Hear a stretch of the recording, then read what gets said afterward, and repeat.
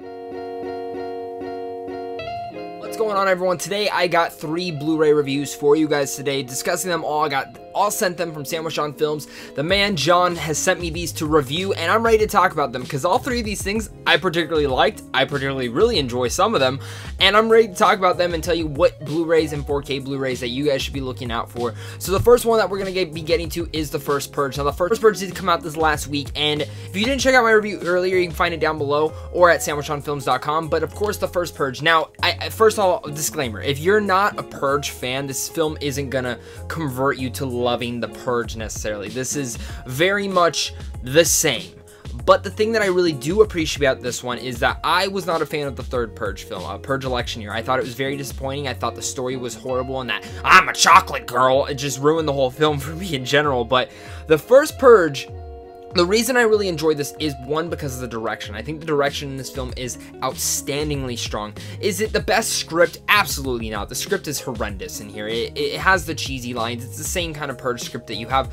But the thing about the first Purge is the action sequences in here, and it actually tackles some topical messages in here. Not in the best light, but it's still there, and it's not being shoved down your throat. But I absolutely love the action sequences in here, and the main stars of here are great, especially Y'lan Noel. The guy plays in here, and my god, this guy's gonna be the next Blade. I'm not even joking. Like, this guy is just perfect for this film. He's one of the main standout reasons that this film works overall. And again, the direction here strong with the action sequences, some of the best action sequences in any of the Purge films. Definitely a Purge fan, so I think if you are too, you're to still enjoy this. The picture quality is beautiful, the blacks levels, because of course a lot of the film takes place at night. If you're a Purge fan, you're definitely to like this one, of course. Now, if you're looking for some special features, there's not too much. The lead scene in here, there's only one, it's not that good. But there is one cool thing in here where it, it goes around the masks and talks about all the cool mask designs that they did in the Purge, and that was probably the best special feature there is, so if you're one of those people, you're to enjoy that one for sure. And moving on to the next 4K Blu-ray we got to talk about today, and that is Skyscraper. Now, Skyscraper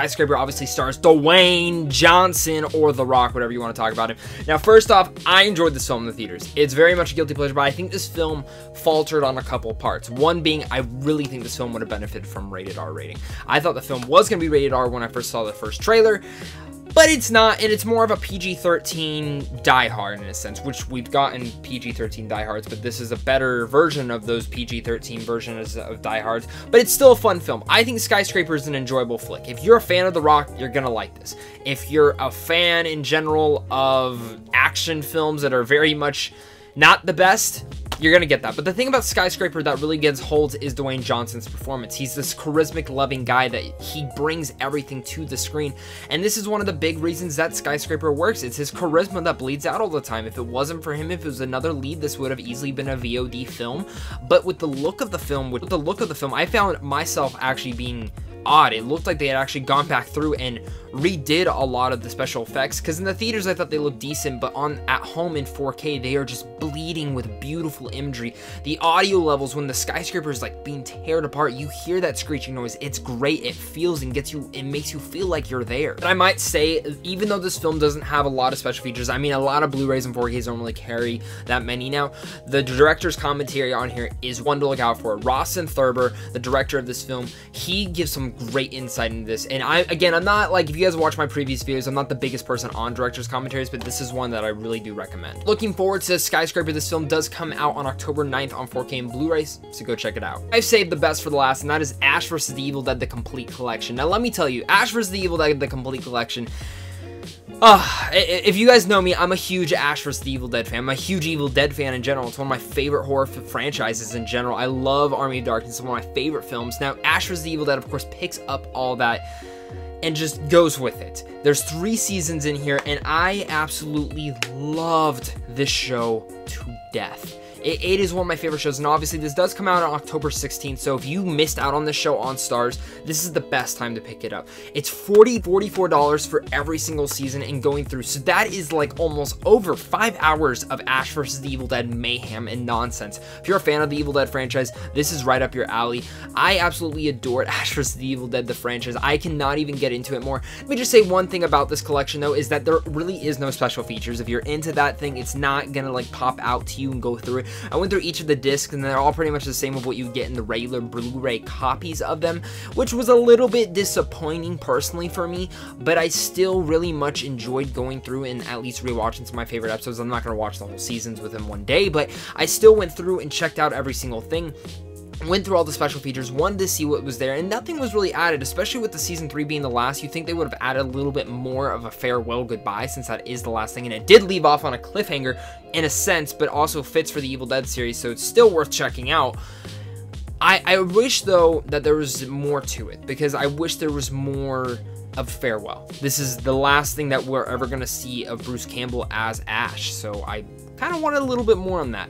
I enjoyed this. I think it's fine. I think it's fun, definitely. If you're out on checking out the show, this is the best time to pick it up. So Ash vs. the Evil Dead Evil Dead Collection comes out on October 16th. Make sure to pick it up, especially if you're a horror fan. And it's perfect time. It's Halloween coming up. Maybe this is the show that you're going to want to get down to watch. Let's review everything that we've gone through. Of course, we talked about the first Purge, which if I were to give this 4K Blu-ray a review, I'd probably give it a B minus for the look, the audio, and everything in it.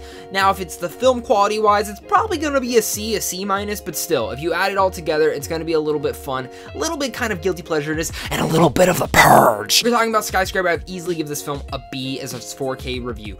The storyline for this is pretty cliche and pretty simple, but it's a lot of fun. It has Dwayne Johnson, and it looks beautiful and has great audio quality to it, so why not check it out? Of course, Ash was the Evil Dead, the complete collection. I want, wholeheartedly, I'd rather give this thing an A+, plus, but the fact is, is that I was really disappointed not to see a lot of special features in here. Yes, you get all the seasons, you get some minor details in here, but in that third season, it was really disappointing to not get a lot of special features, and I hope down the road maybe we'll get some more, maybe in a special super duper collection. I don't know. That's just the Evil Dead fan of me talking, but if I were to give this one, I'd easily give it a B+. plus. So for me personally, this is the best one to pick up. It looks good. It's the audio level in there, and it's perfect time around with Halloween. But I mean, it, if you go to Skyscraper, this is a fun action film. If you're a Dwayne Johnson fan, this is one for you. And if you're into action and horror, then you kind of got the first Purge all mixed in there as well. But guys, my name is Zach. Thank you guys so much for watching this. Hit up Sandwich John Films also over there. Before we get going, let's talk about a giveaway that I'm going to be doing. It's for Ash vs. Evil Dead, the complete collection. There's a digital code in here. I'm sure some of you guys want that.